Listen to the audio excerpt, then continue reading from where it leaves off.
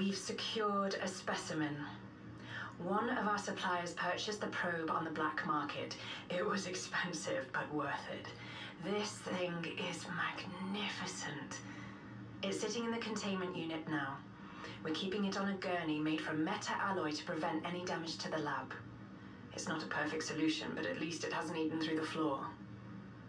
Tomorrow, I'm gonna find out exactly what makes this thing tick.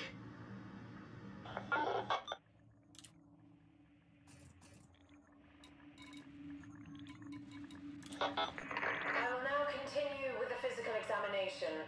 Let the record show that Professor Collins is present to assist.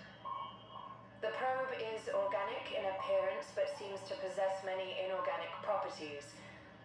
The outer casing is made of elements we have been unable to identify. Thus far, radiocarbon testing has proved inconclusive. Attempts to dissect the outer carapace with a conventional scalpel have also been unsuccessful. We simply don't have a blade that can pierce the shell. I am now proceeding with electrocauterization.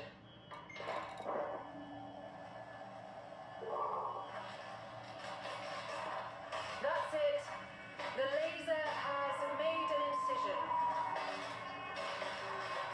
The probe appears to be reacting to the laceration.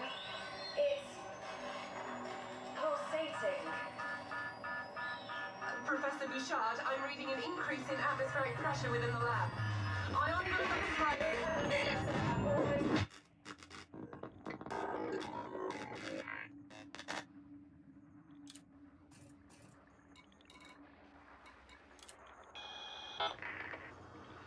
I must say, this is fascinating. Upon making my primary incision, the probe emitted an electromagnetic pulse that shut down the entire laboratory and most of the research facility. Luckily, auxiliary power kicked in and kept our life support online. If it hadn't, we might have found ourselves a little short of air. The tech team has restored power to the main systems, but most of my hardware has been destroyed. My examinations will have to be put on hold until the equipment can be replaced or repaired. Who knows how long that will take. There is one curious thing, though. Since it released the pulse, the probe has been emitting a constant signal. We have no idea what it's trying to communicate. But comms have assured me they have their best cryptographer on the job.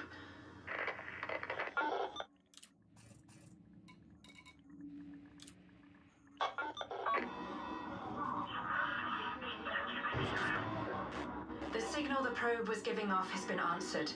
We're under attack and evacuation protocols have been initiated.